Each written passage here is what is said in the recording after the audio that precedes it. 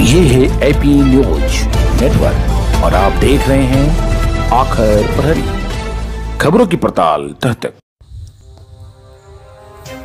किशनगंज के पोटिया प्रखंड में पुल निर्माण की मांग को लेकर ग्रामीणों ने आंदोलन तेज कर दिया है। आम बाड़ी और बोदरा घाट के बीच निर्माणाधीन पुल लोगों के लिए मुसीबत बन गया है। दरअसल, यहाँ का निर्माण कार्य 2018 से ठप पड़ा हुआ है और यह घाट तकरीबन लाख की आबादी का संगम स्थल है। पुल निर्माण कार्य अधूरा रहने से लोगों को नदी पार करने में भारी दिक्कतों का सामना करना पड़ता है और मिनटों की सफ़र घंटों में तय होने से काफ़ी नुकसान भी सहना पड़ता है। इस चचरी पुल और नौका की ही एकमात्र सहारा है। सुखार की सीज़न में जन सहयोग से चचरी पुल का निर्माण किया जाता है। बरसात के सीज़न में जान जोखिम में डालकर नाव की सवारी करते हैं। यही वजह है कि निर्माण कार्य पुल फिर से शुरू कराने को लेकर ग्रामीणों ने धरना प्रदर्शन शुरू कर दिया है। डोक नदी घाट पर पुल का निर्माण करो। आमदानी बुजरा डोक नदी पर पुल का निर्माण करो। आमदानी डोक नदी पुल का निर्माण करो।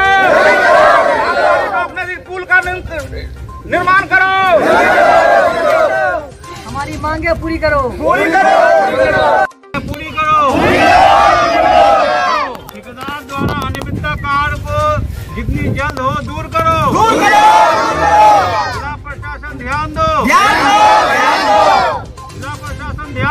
ध्यान दो हमारी मांगे पूरी करो। पूरी करो पुल का कार बाधित है, उसे जल्द शुरू करो।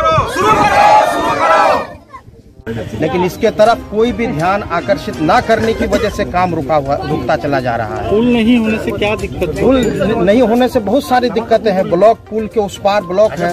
इस्लामपुर बंगाल वेस्ट बंगाल की जो बड़ी मार्केट है लोगों को जरूरतों का सामान लाना पड़ता है वहाँ जाने के लिए। एक अगर किसी किस्म का कोई मरीज़ होता है तो आज या तो किशनगंज इतना लंबा जाना पड़ता है तब तक मरीज़ की हालत खराब हो जाती है।